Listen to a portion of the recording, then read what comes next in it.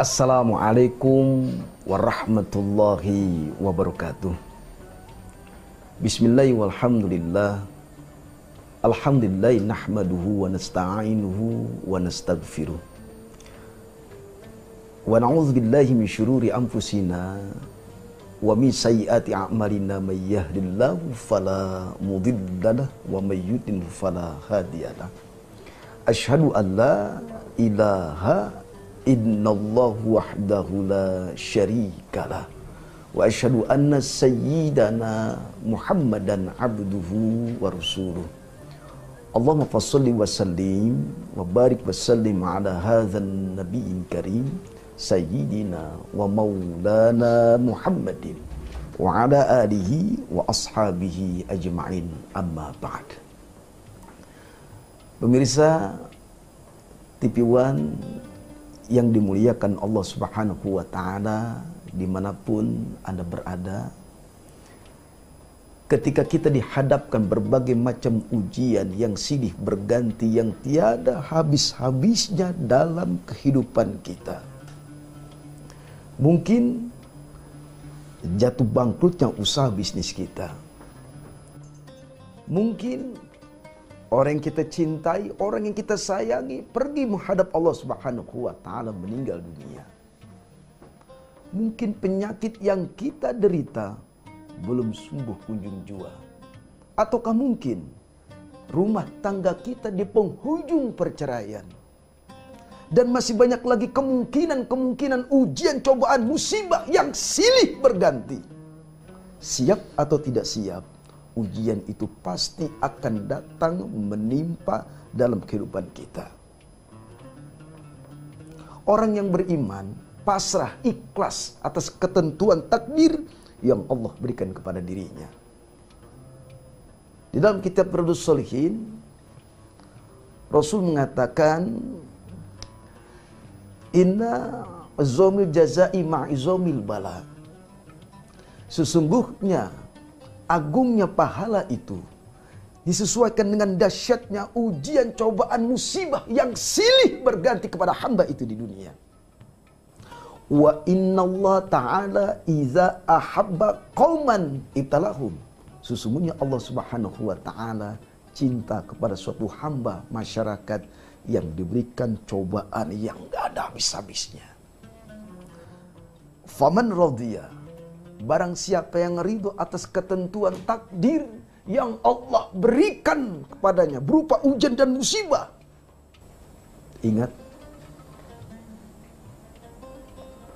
Rasul mengatakan falahu ridho maka Allah ridho kepada hamba yang tertimpa musibah berupa ujian. Kalau Allah Subhanahu wa taala sudah ridho kepada seorang hamba, hamba pun sudah ridho kepada Allah Subhanahu wa taala atas ketentuan takdir yang menimpa dalam kehidupannya. Sudah pasti mendapat kegembiraan dari Allah Subhanahu wa taala berupa ampunan yang Allah berikan kepada hamba yang tertimpa musibah. Allah hapuskan segala dosanya Allah angkat derajatnya dan Allah tenangkan hatinya. Meskipun seorang hamba ketika diuji berupa penyakit yang begitu panjang yang menimpa kepribadian dirinya, yang menimpa dirinya. Kemudian dia sakit di penghujung penyakitnya tersebut, tersebut tertimpa ujian musibah. Pasti janji Allah wafat husnul khatimah. Inilah janji Allah Subhanahu wa taala Barang siapa yang ridho atas ketentuan takdir, kemudian dia ikhlas menerima takdir yang Allah berikan kepadanya, kemudian sabar menjalani ujian tersebut. Falau ridho mendatangkan keriduan Allah Subhanahu wa taala. Kata Rasul sebaliknya, waman sakhito. Barang siapa yang gerutu marah, nggak terima atas ketentuan takdir yang Allah timpa, yang Allah uji kepada dirinya. Dia marah, seakan-akan dimarahi Allah Subhanahu wa taala, enggak menerima ketentuan takdir yang Allah berikan kepada dirinya. Wa man sakhita falahu. Barang siapa yang marah, maka Allah pun akan marah kepada seorang yang diberikan ujian namun tidak terima, tidak ikhlas, tidak sabar menjalani ujian tersebut. Nauzubillah itu nauzubillah. Ketika Allah sudah marah kepada seorang hambanya, nggak menerima ketentuan takdir ujian yang Allah timpakan kepada dirinya, tidak mendapatkan ampunan dari Allah Subhanahu wa taala. Tidak dimaafkan kesalahannya, tidak diangkat derajatnya, tidak tidak diwafatkan dalam husnul khotimah. Rugi dan serugi-ruginya. Oleh karenanya, hidup ini adalah ujian maka orang yang beriman sudah pas dan ikhlas ketika Allah Subhanahu wa taala menguji kepada dirinya, pasti hakikatnya Allah Subhanahu wa taala cinta dan sayang kepada hamba tersebut. Walanabluwannakum bisyai'im minal khawf Sungguh kami akan uji kamu dengan sesuatu. Wal khuf rasa ketakutan, wal kelaparan. Di sini Allah ingin melihat Sampai di mana seorang hamba ketika disaing oleh Allah, dipilih oleh Allah Subhanahu wa taala bentuk ujian. Apakah dia kembalikan kepada Allah dengan ikhlas? Apa di, apakah dia kembalikan kepada Allah dengan sabar, dengan tawakal, dengan iman yang kuat?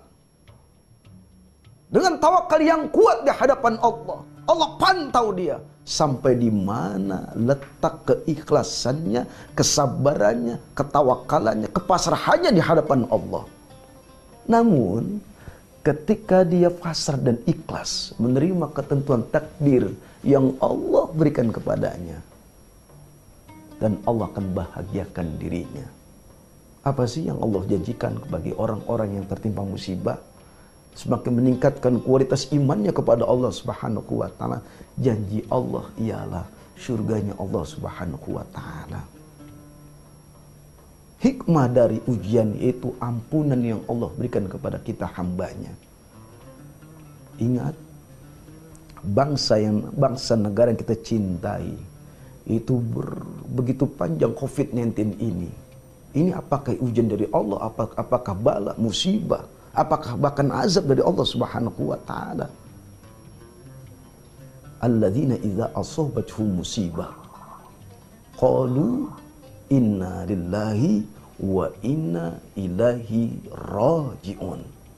Sesungguhnya kita ini milik Allah dan akan kembali kepada Allah Subhanahu wa taala. Bukan hanya kematian saja kita kembalikan kepada Allah, akan tapi musibah yang menimpa dalam kehidupan kita bangsa dan negara kita. Ayo kembalikan kepada Allah dengan apa? Meningkatkan kualitas iman dan takwa kita kepada Allah. Jangan sampai ketika kita ditimpa musibah, kita semakin jauh kepada Allah. Malas beribadah kepada Allah. Malas zikir kepada Allah. Malas istighfar kepada Allah. Semakin drop. Dan ini semakin menurun, menurun kemusrotan.